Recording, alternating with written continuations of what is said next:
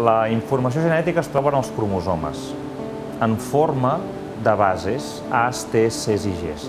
Doncs seqüenciar és escriure aquesta informació, és passar de la informació molecular dins dels cromosomes a informació sobre un paper en forma de lletres.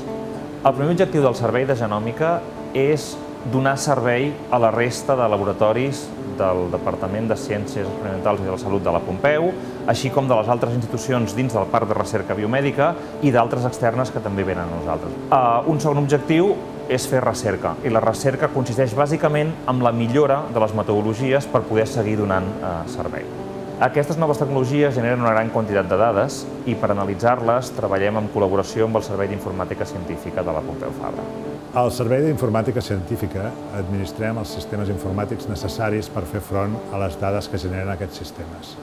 Disposem d'un sistema d'emmagatzemament d'altes prestacions on es guarda tota la informació i s'utilitza per gestionar-la i també disposem d'un sistema de computació, un clúster, que és un sistema de màquines dedicat a gestionar tota aquesta informació, comparar-la, muntar-la... Hi ha com tres generacions diferents de seqüenciadors. Fins ara fèiem servir la primera generació, que es coneix pel mètode Sanger, i aquesta, aquest tipus de seqüenciació és el que es va utilitzar per seqüenciar el genoma humà l'any 2001.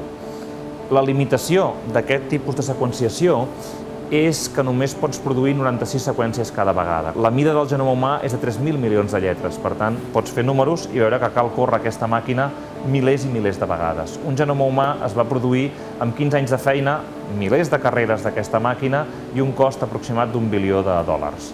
La segona generació, que és la que ha arribat als laboratoris des de fa uns 7-8 anys, el gran canvi és la paral·lelització.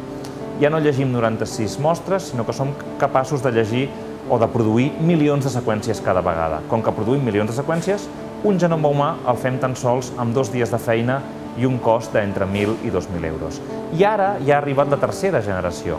La tercera generació, el canvi no és la quantitat de seqüències, sinó el canvi és la llargada. Fer un genoma és com fer un llibre, és a dir, i us podeu imaginar fer un llibre amb trossets petits. No? Reconstruir el llibre a partir de paràgrafs és difícil. La tercera generació el que fa és llegir-te el llibre sencer o, si no, el llibre, els capítols sencers.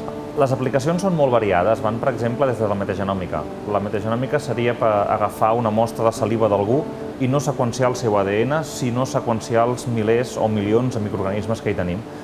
D'alguna manera podríem dir que el futur en genòmica ja està aquí, perquè molt aviat jo crec que tots nosaltres tindrem el genoma seqüenciat i gràcies a aquesta informació coneixerem millor els nostres riscos i, per tant, podrem adaptar el nostre estil de vida en aquests riscos.